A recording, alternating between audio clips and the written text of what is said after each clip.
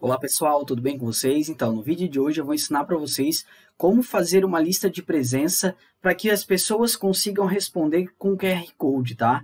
E, essa, e vou ensinar também como configurar essa lista de presença para que todos os participantes da palestra ou da sua aula consigam responder ela, tá? Então, o primeiro passo é acessar o site do Google, né? Vir em Google Drive, ou já acessem diretamente o formulário, se você já sabe, clicando em Novo, aí aqui em Mais, formulários ou com o botão direito em qualquer parte branca, formulários Google. Feito isso, a gente vai clicar em aqui no título, a gente vai colocar lista de presença. Aqui na descrição vocês podem colocar o que vocês quiserem, né? Desde a data, por exemplo, 5 do 9 de 2021. É, acesse a lista para receber presença. Então, basicamente é isso. E aqui a gente vai criar os dados que a gente precisa coletar, né? Nome completo, geralmente é o que pedem uma lista. Quando eu coloco dois pontos, ele coloca diretamente em resposta curta, ou eu posso vir selecionar o tipo de questão aqui, e para eles responderem escrevendo, tem que ser resposta curta, tá? Então, eu vou adicionar outra pergunta, é, CPF, C, CPF barra RG, um dos dois, né? A pessoa pode colocar para identificar ela.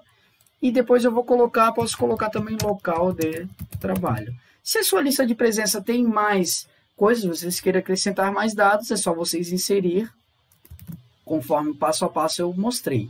Um detalhe muito interessante desse vídeo que eu quero mostrar é aqui, ó. Antes de a gente progredir, a gente vê nas configurações quem vai qual é o meu público-alvo que eu estou fazendo essa lista de presença? Se são pessoas que não são da minha escola ou não são do meu ciclo e não têm contas institucionais, eu preciso vir aqui nas configurações e desabilitar todos os campos.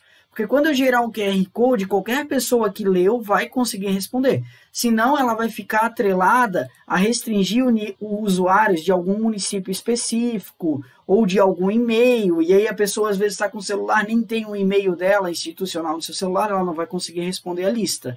Então, para não criar transtornos, essa dica que eu estou dando para vocês é muito interessante. Deixem tudo desabilitado que qualquer pessoa que precisar ler esse QR Code, ela vai conseguir responder para vocês. E não esqueçam de clicar em salvar a configuração.